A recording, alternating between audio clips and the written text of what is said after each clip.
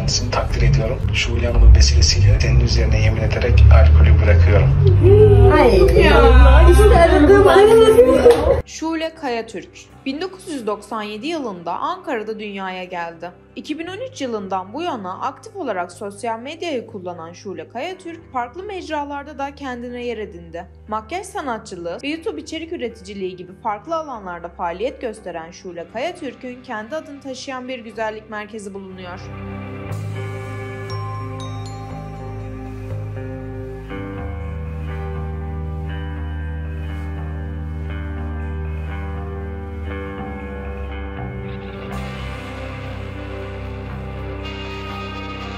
Bir dönem 100 kilonun üzerine çıkmış olsa da son zamanlarda büyük bir zayıflama yaşayarak 54 kiloya düşmüştür. Şulem Takma adıyla bilinen Şule Kayatürk, eşi Yasin Türk ile yollarını ayırma kararı almıştır. Arabam.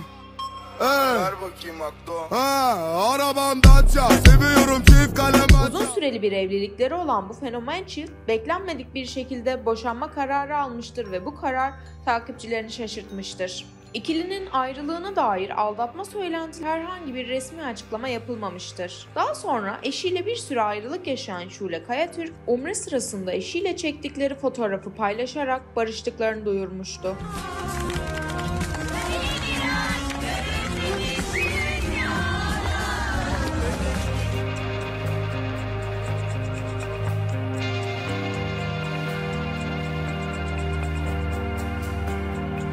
...2013 yılından bu yana aktif olarak sosyal medyada etkin olan Şule Kayatürk, farklı mecralarda da kendine yer edinmişti. Makyaj sanatçılığı, sosyal medya etkileyiciliği ve YouTube içerik üreticiliği gibi farklı alanlarda faaliyet gösteren bu fenomenin kendi adını taşıyan bir güzellik merkezi bulunuyor.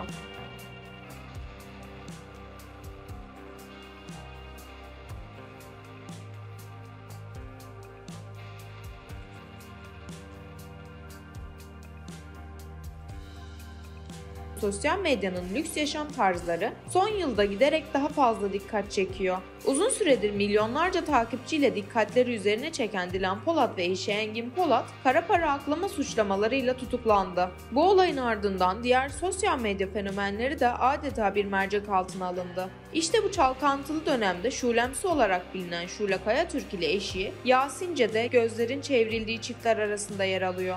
Ankara'nın önde gelen bir güzellik merkezi sahibi olarak bilinen Şule Kayatürk ve eşi Yasince, servetleri ve fiziksel değişimleriyle dikkat çekiyor. Genç çift bir zamanların gözde sosyal medya fenomenleri arasında yer alsa da son dönemdeki değişimleri merak konusu oldu. Kızlar sesimi alabiliyor musunuz?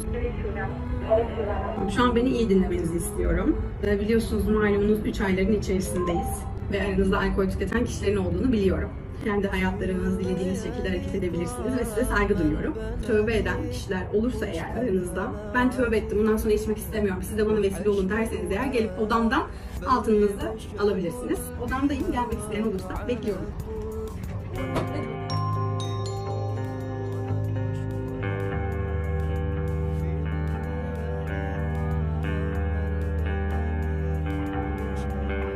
Şule Kayatürk'ün kilo verdiği ve yüzüne estetik operasyonlar yaptırdığı gözlemlenirken eşinin değişimi de gözlerden kaçmıyor. Dilan Polat ve Engin Polat çiftinin tutuklanmasıyla birlikte sosyal medya fenomenleri önceki ve şimdiki halleri hayranları tarafından karşılaştırmaya başlandı.